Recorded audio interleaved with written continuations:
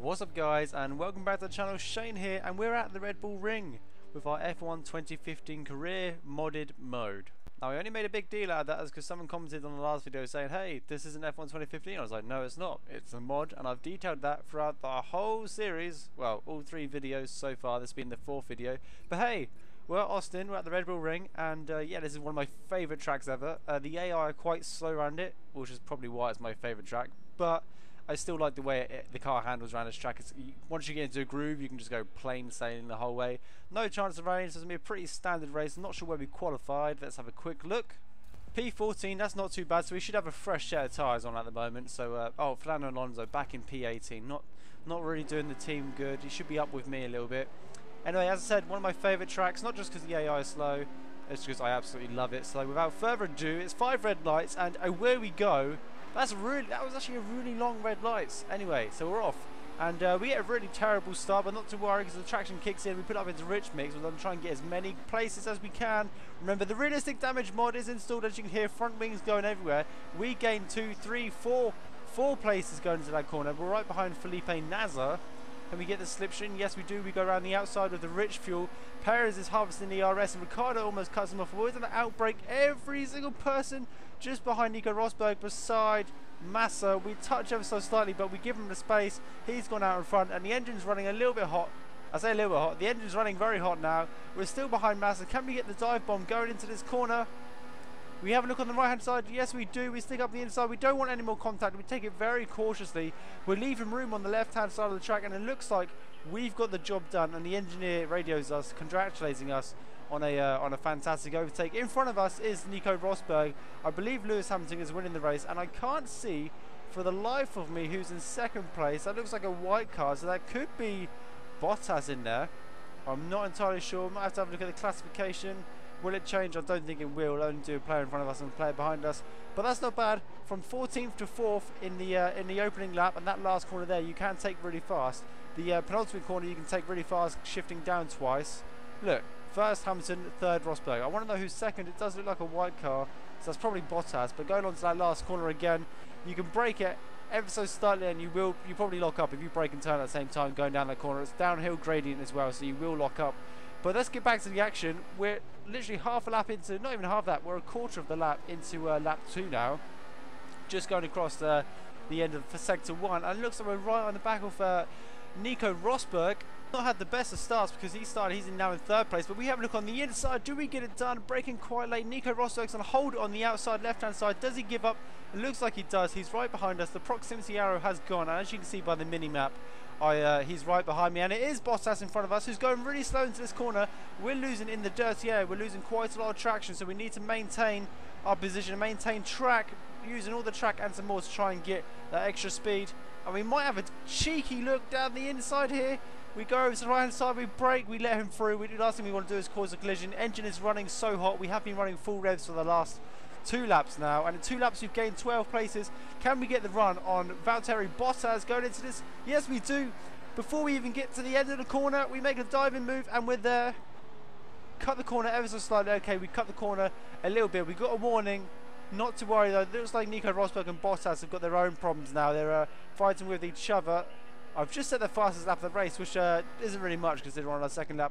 And we are right behind Lewis Hamilton, who again not the best of starts with the two Mercs not really making much distance. We are one point, let's have a look, 1.068 seconds, I believe that's what it says. Sorry, my Sony Vegas monitor is tiny at the moment. So we are, we're less than, almost a, just about a second behind uh, Lewis Hamilton. So not the best start from him. Usually he buzzes off into the distance with Nico Rosberg, but we're managing to uh, to maintain pace. But we were on rich mix, obviously I've just popped it down to standard, so hopefully we can get and maintain his pace. The tyres are going a little bit colder in the back there, which is interesting. We lock the front left going into this long left-hander. Again, this track is so fast. It's a very fast track, very small and fast track. So it wouldn't surprise me if we lap a car going in, well, like doing the 18 laps here. 18 laps, crikey, that's quite a lot. I didn't realise that when I did the race. But no, it's very easy to lock up here because there's a lot of long bending corners with tight exits. So those tight exits require you to brake. If you brake on a corner, it's not going to go good. We've got DRS. We are now 0.7 seconds behind Lewis Hamilton. And look how much we catch him up in that corner. Lewis took a snail's pace through that. He might as well parked on the apex. We've got a brilliant slipstream out here. To take it to the right. We got on the grass ever so slightly, which has compromised our speed. We're going to overtake him. I'm not sure why I didn't dive up the inside, but we take it around the outside. Do we hold it around the outside? No, we don't. We're still behind him. We've got DRS. Surely, surely we should be able to get past him now. Almost losing the rear end as we activate the DRS and weave left and right. We go to the left. Can we get anything done? We're going to take on the outside. Yes, we do. He breaks early. We break later. We've compromised our line. We take it around the outside, and that is the pass into first place, everybody.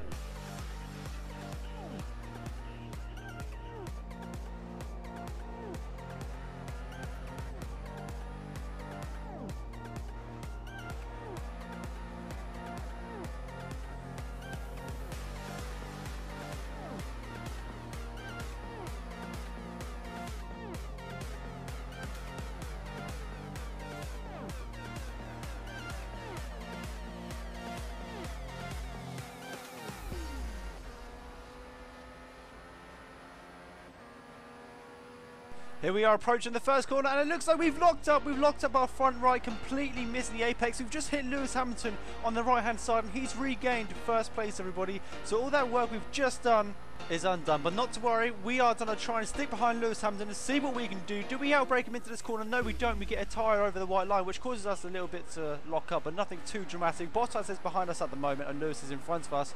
Not much of a difference. Going on to the end of lap six now, starting on lap seven. Rosberg is behind us. Uh, Bottas has dropped back, and Lewis is still in front of us. He's uh, he's left the DRS activation zone open, so uh, we we aren't in that we are we aren't in that activation zone basically. So we don't have a chance to take catch him.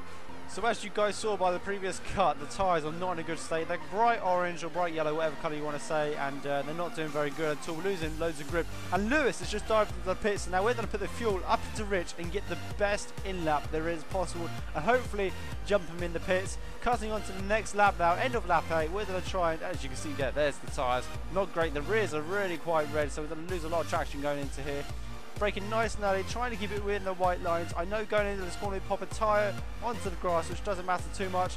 Revving up until we hit the uh, auto speed killer thingy majiggy. And uh, it's quite a long run into the pits of the McLaren bot, just after the Ferraris, I do believe. There we go. In we go. 3.7 seconds would be absolutely wonderful. And 3.7 seconds it is. And I think that was Lewis Hamilton, which has already gone past. Really? Damn. I thought that would have been him there, but if that's Lewis Hamilton all the way up the road, we've done something terrible in the outlap and I just haven't noticed. Oh no! Sainz Jr. is out in second place. I don't even know where the standings are now. Is that Lewis behind us? That's Lewis Hamilton behind us, everybody. Lewis Hamilton is in P4 and we are in P3, so we're an effective P1 at the moment.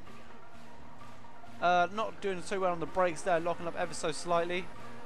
And now we're going to jump to uh, lap 11 and just see what the sector split is between me and Lewis. Lewis is right behind me actually. You can just see the proximity arrow. So it's less than a second. He's going to use DRS to try and overtake.